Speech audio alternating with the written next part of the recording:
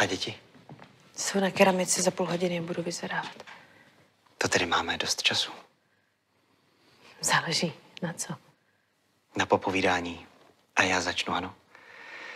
Já už totiž nemám sílu dál skrývat pravdu. O čem? O nás dvou, Vicky. Dlouho jsem byl blázen do tvojí sestry a nechtěl si připustit, že to ty jsi ta zajímavější. A když jsem si to konečně přiznal, tak jsem zjistil, že chodíš s Markem. Nechodím. Jo, já vím.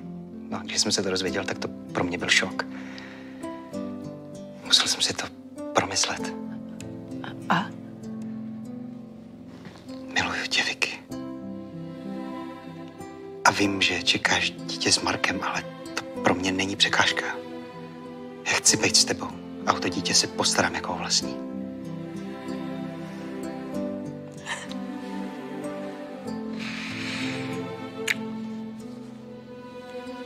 Já tě taky miluju strašně moc.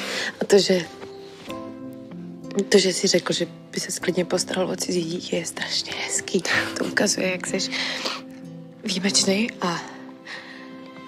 Ale to dítě je tvoje. Počkej, cože, jak by mohlo? Já nemám... Nemám žádný dvojče, Petře. Alex byla vymyšlená. Já jsem Alex celou dobu. Počkej, eh, to je nějaký vtip?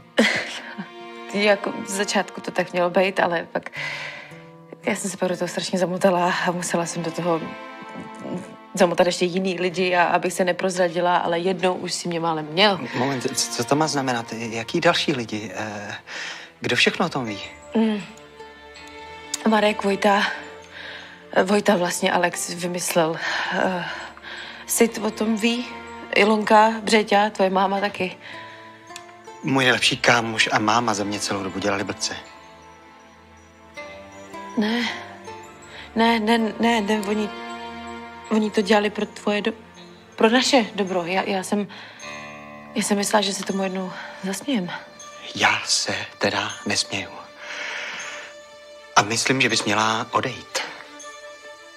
Kam? Já nevím kam. Eh, Tohle je prostě neuvěřitelný, to je šílený, to je... eh, Já... To je konec. Teď jsi říkal, že mě miluješ. To tak to beru zpátečku. Protože takhle mě ještě nikdy nikdo neponížil. Já chci, abys odešla teď hned. Slyšíš? Odejdi hned. Jo.